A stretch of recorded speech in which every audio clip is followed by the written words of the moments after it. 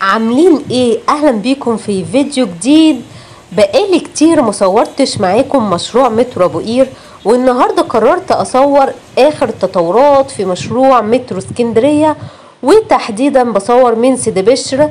تعالوا نشوف إيه اللي تم في محطة سيدي بشر وكمان نشوف الأعمدة اللي تمت في المحطة. بس قبل ما نبدأ الفيديو ما تنسوش تشتركوا في القناة وتفعلوا الجرس على الكل عشان يوصلكوا كل جديد وما تنسوش تضغطوا اللايك للفيديو. أنا هنا بصور من أمام حي المنتزه آه تحديدا ده المكان اللي تم وضع فيه الأعمدة الخاصة بمترو اسكندرية آه ولكن الجهة المقابلة ليه ما فيهاش أي أعمدة ولا أي شغل خالص. هروح برضو هصور معاكم آه ولكن آه هنا أنا حبيت تشوفوا آه آخر تطورات مترو اسكندرية.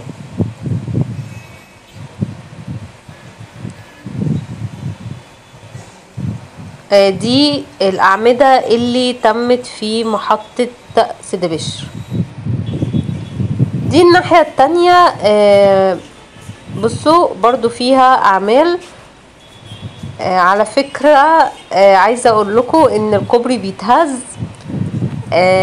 يعني لو لقيته هزة كده في الصورة بجد والله العظيم الكوبري بيتهز والموضوع أنا افتكرت بيتهيألي. آه ولكن ركزت إنه لما بيبقى في أكتر من شخص يعني كذا حد على الكوبري الكوبري بيتهز بطريقة غريبة جدا. فخلوا بالكم. بصوا هنا بقى الفتحات اللي موجودة في الكوبري. أنا والله العظيم كنت واقفة بصور وخايفة. آه يعني منظر صعب قوي. كمان قدام آه عند الكوبري فتحات كبيرة.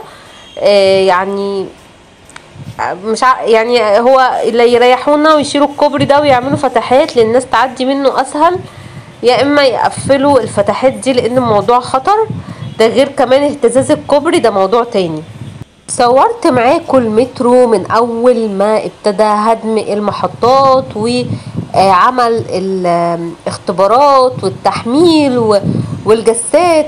والنهاردة بصور معاكم الأعمدة وألف مبروك لكل أهل اسكندرية. الحلم بيتحقق. بصوا بقى هنا أنا كنت بوريكم الكوبري قد إيه الفتحات بتاعته كبيرة. يعني المنظر صعب جدا وخطر. آه والناحية التانية بصوا قد إيه. فالموضوع مش سهل فياريت يعني اتخاذ الإجراء اللازم لحماية أولادنا خصوصا إن إحنا داخلين على فترة مدارس والكوبري ده هو المكان الوحيد اللي بنعدوا منه كل الناس. فما فيش بديل ليه فلازم يكون المكان معمول صح. بصوا قد إيه؟ بصوا الفتحة. هنا أنا رحت الناحية التانية آه عديت المزلقان. مفيش أي شغل في المنطقة دي خالص. الأعمدة كلها في الجهة اللي ناحية حي المنتزه. شكرا ليكم ولمتابعتكم. باي باي.